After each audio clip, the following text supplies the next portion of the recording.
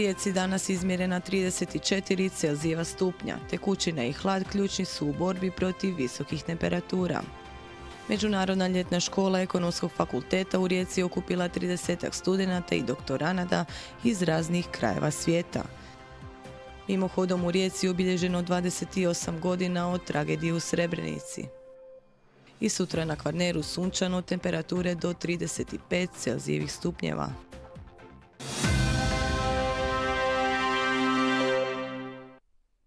Kvarner je danas u narančastom, što znači da je zbog visokih temperatura vrijeme opasno za zdravlje. Ja sam navikao na to, nije mi neki problem. Pa više volim hladnije vrijeme, vrućine baš ne, pogotovo ne ovako ovaj, visoke temperature. One do 30 se mogu, ovo sve preko 30 je malo previše. Pa se hvatamo hlada i to je to. Ali morali smo u grad, pa eto, idemo. Ujutro napijem se ledene vode, sad na busi na Učku. Najbolje poći u planinu Učku ili na Gorski kotar, u skrad i u šumu. Deka i uživancija u ladovini. Slađujem se, dosta pijem vode, ne pijem ove sokove i to jer to je slatko jako. Što više hladovine, manje na sunce, ići na kupanje u normalno vrijeme. Čisti hlad, hladovina, kad obavimo kući pod klimu i to je to.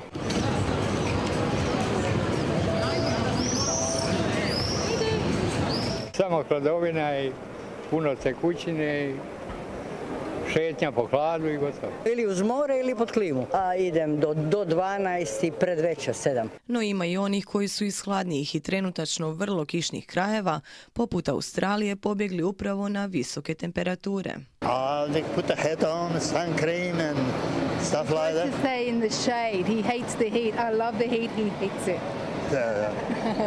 so it's perfect for me. I love it. No vrhunac toplinskog vala tek je pred nama. Riječka regija sutra će biti jedina u crvenom. Sa maksimalnim temperaturama preko 34 Celzija stupnja i minimalnom temperaturom preko 23 Celzija stupnja, znači da su i noći neugodno tople. Toplinski val bi trebao pre, završiti tamo negdje tijekom petka jer se očekuje promjena vremena u noći od četvrtka na petka prolazi jedna fronta koja će donijeti e, u noći oborine i onda dan poslije bi trebalo ipak biti nešto malo niže temperature. A visoke temperature utječu i na povećan broj intervencija hitnih službi.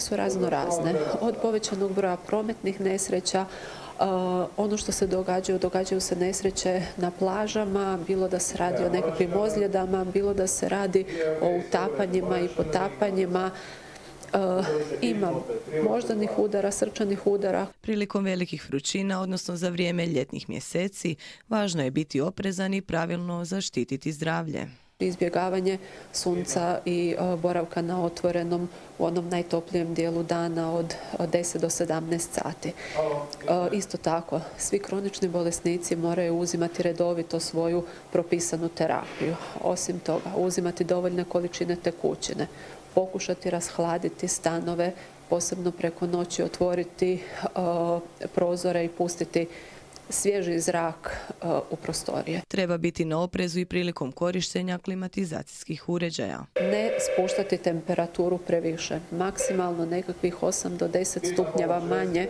u odnosu na temperature koje su vani. Jesti puno voća, povrća, znači pokušavati uistinu rashladiti organizam kako je najbolje moguće. Posljedice koje nose visoke temperature nisu zanemarive. Kod te toplinske iscrpljenosti čovjek se može osjećati slabo klonulo, malaksalo, da ima osjećaj kao da će svakog trenutka izgubiti svijest. Kod nekakvog toplinskog udara tu može doći i do značajnijih poremećaja koji mogu uključivati izrazito visoke tjelesne temperature, poremećaje stanja svijesti kao i konvulzije.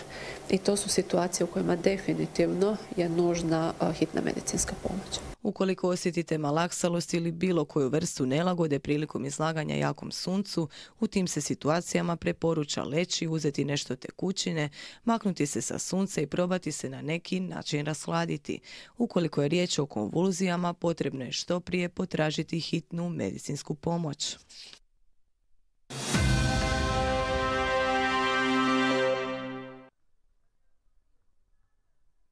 Danas su objavljene liste za upise u srednje škole. U Primorsko-Goranskoj županiji već tradicionalno u ljetnom se roku popunjavaju kvote svih gimnazijskih programa, no konačni rezultati znače se sutra. Kao i svake godine, najveći hit u, u Hrvatskoj, a tako i kod nas, su hoteljersko-turistička škola, medicinska škola, tehnička škola, elektro, elektrotehnička škola. Evo, otprilike to, to, to su najzanimljivija zanimanja u strukovnim. Sljedeću školsku godinu srednju školu će u Županiji upisati oko 80 učenika više, a prvi razred osnovne, prema privremenim rezultatima, stotinjak učenika manje. A ono što nas malo zabrinjava je doista stalan porast koji primjećujemo djece sa teškoćama u razvoju.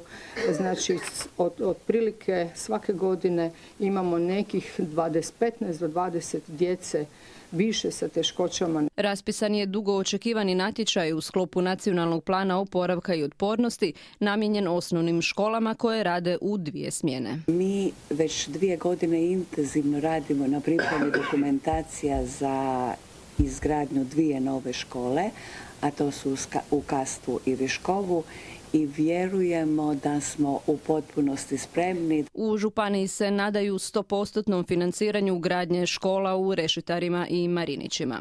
A do tada Županija nastavlja s vlastitim projektima u školstvu. Do kraja godine 11,500 e, e, milijuna eura e, će biti uloženo u naše škole. Započinjemo sa javnom nabavom jer smo dobili građevinsku dozvolu do gradnju područne škole Dobrinj i u tijeku je isto tako, vrlo smo blizu građevinske dozvole za izgradnju školske sportske dvorane željezničke škole u Moravicama. Za predfinanciranje europskog projekta Karijera i ja elektroindustrijskoj i obrtničkoj školi Rijeka Županija je dodijelila 16.400 eura te 106.000 eura u gostiteljskoj školi Opatija za projekt mreža kompetentnosti, a proračunska sredstva dodijeljena su i nacionalnim manjinama. Dobrino je ukupno 24.400 308 eura e, do kraja ove godine, a što se tiče predstavnika odobreno je ukupno 11.207 eura za njihov rad do kraja ove godine. U Primorsko-Goranskoj županiji šest je vijeća i sedam predstavnika nacionalnih manjina.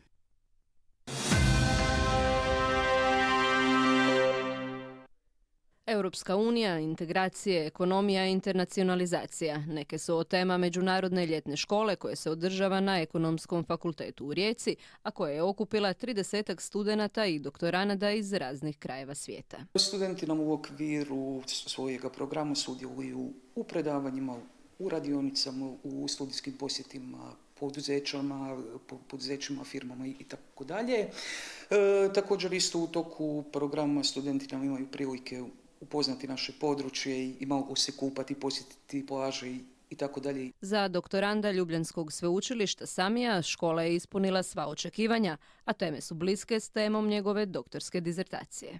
The discussions were very fruitful uh, and uh, very versified, so we tackled like uh, climate change, like the war in Ukraine, uh, international trade, uh, different kinds of policies, uh, poverty, welfare, etc. Uz domaće i europske studente, ljetna škola ekonomskog fakulteta sve je atraktivnija studentima izvan starog kontinenta, te iz zemalja koje nisu članice Europske unije, a sve ih zanimaju procesi europskih integracija. It's uh, really important for me because uh, Ukraine now has uh, status of a candidate to access the European Union and uh, Mm, thanks to this uh, summer school, I uh, really can become one of those professionals who will develop my country to the European standards. Za razliku od ukrajinske studentice, Won iz Južne Koreje ima drugačije interese, a odgovore na njegova pitanja daće vrsni predavači. Personally, I'm like um, really interested in the environmental issues. And European Union is pursuing the kind of really global leading environmental policies, such as the European Green Deal. So I think there will be a lot of room for, especially my, my own country, South Korea. Maybe there are some rooms for cooperation between the South Korea and the European Union, especially the Croatia maybe. Indijec Rohit završava studije ekonomije u Veroni, a u domovinu se namjerava vratiti tek kada ostvari poslovne ciljeve na međunarodnoj razini. I'm looking for some export import related to like connecting with India and Europe Union and mostly I'm like in favor of Croatia. Mostly I will go with Croatia to India in like ex export import businesses. I'm just enjoying this uh, Croatian life. I love their culture, I love their history and like Croatia is famous for its tourism, so right now I'm just enjoying it. Ljetna škola na ekonomskom fakultetu provodi se 18. godinu zaredom, a ove godine dvotjedni program se podudara s desetom obljetnicom članstva Hrvatske u Europskoj uniji.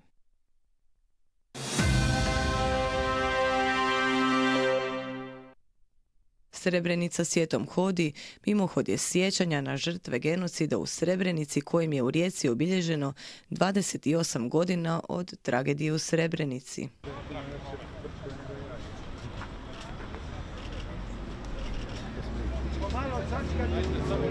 Fahreta Husić rodom je iz Srebrenice, a u genocidu počinjenom nad bošnjačkim stanovništvom Srebrenice 1995. godine izgubila je preko 20 članova obitelji. Izgubila sam znači, oca i dva brata. To mi je nekako je najbliže, mada ima još te malo dalje, recimo, familije, obitelj, koji smo sa mamine strane, sa babine i tako da je toga izgubljenih dosta. Srećem pa smo ih našli, pronašli i da je to smješteno u te grobnice mezarove. Jaka emotivna. a Zemina je pak tijekom genocida ostala bez 35 najbližih i premda se želi vratiti u Srebrenicu, kako kaže, nema kome ni gdje osim na groblje. Izgubila sam jednog jedinog brata, o sestri dva sina koji imao 15 godina jedan, njega smo našli, a ovaj od 19 godina nismo ga još našli.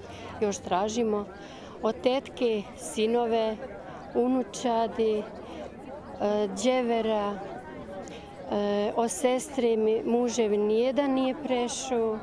Kad počne sedmi mjesec, nemate riječ. Nemate riječ, sedmi mjesec i dok sam radila, sve s moje kolegice znale da ja šutim taj mjesec.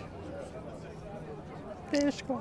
Mimohod se tradicionalno obilježava diljem Hrvatske, a njime se želi skrenuti pažnja na najveći genocid nakon drugog svjetskog rata, te na taj način učiti mlađe naraštaje o neviđenim povijesnim zločinima koji se ne smiju ponoviti.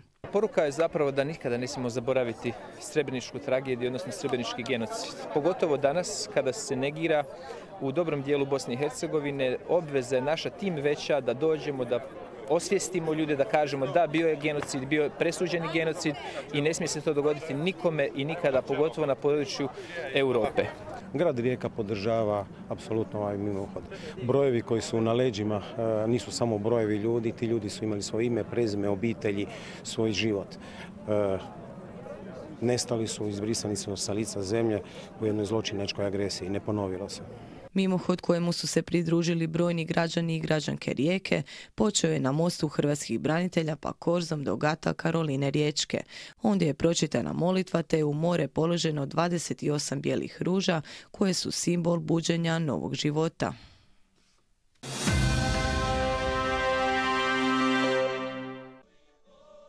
Tribaljci su bogatim programom proslavili mjesni blagdan Jelisaftinu. Pored Tribaljskog jezera održano je natjecanje u kuhanju kotlića, to jest najboljeg lovačkog gulaša. Imamo prijavljeno 18 ekipa, diši se na kapulu i na meso.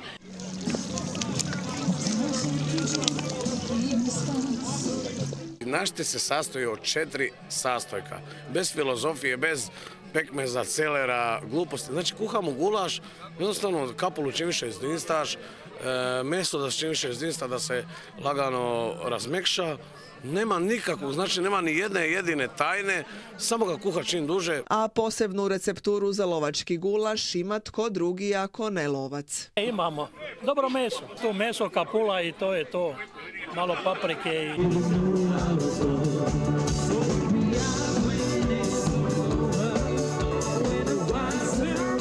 A u susjednom Driveniku u sklopu manifestacije Vinodolske ljetne večeri održana je plesna predstava izvor udruge Ridens.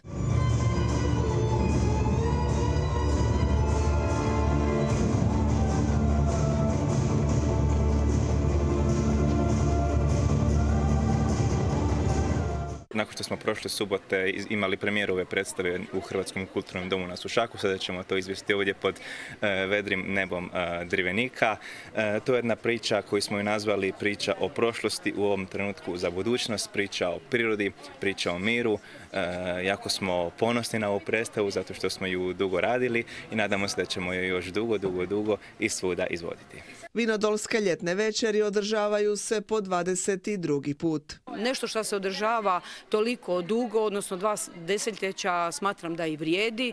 U sklopu e, ovih vinodolskih ljetnih večeri, osim ovakvih, evo ga, dance večeri, održat će se i održale su se već i e, večeri klasične glazbe i e, također plesne večeri, održat će se književne večeri, kazališne predstave, promovirat ćemo izvođače tu iz našeg područja, iz Vinodola, znači afirmiramo lokalna kulturna umjetnička društva. Iduće događanje je ono u Bribiru i to već večeras od 21 sat. U Starom gradu nastupaju Bribirci iz Detroita.